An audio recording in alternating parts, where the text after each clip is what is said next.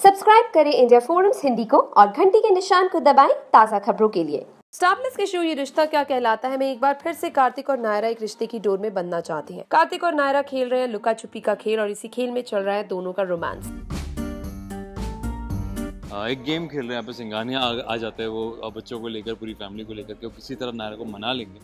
आ, लेकिन नायरा जितना दूर भाग रही है वो उतना ही उनके करीब आ रहे हैं और उन्हें प्रेशराइज कर यहाँ पे कार्तिक और नायरा एक दूसरे को अपने दिल की बात बोल रहे आई लव यू बोल रहे इसी रोमांस में कार्तिक और नायरा कर रहे एक दूसरे से अपने प्यार का इजहार। बच्चों के साथ लुपा छुपी खेल रहे वेदिका के लिए अब सारी बातें सामने आ गई हैं। एक तरफ़ कार्तिक और नायरा अपने रिश्ता जोड़ने में लगे हैं। वहीं वेदिका सब कुछ हार कर नींद की गोली खाकर सुसाइड करने जा रही है।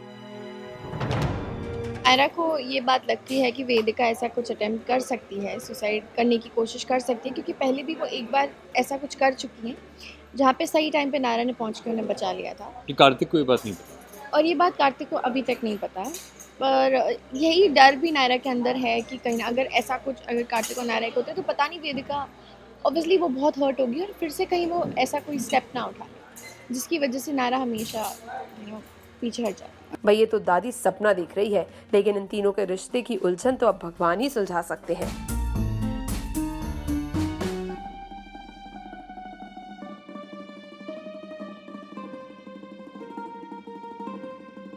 वीडियो देखिए और सब्सक्राइब करें इंडिया फोरम्स हिंदी को।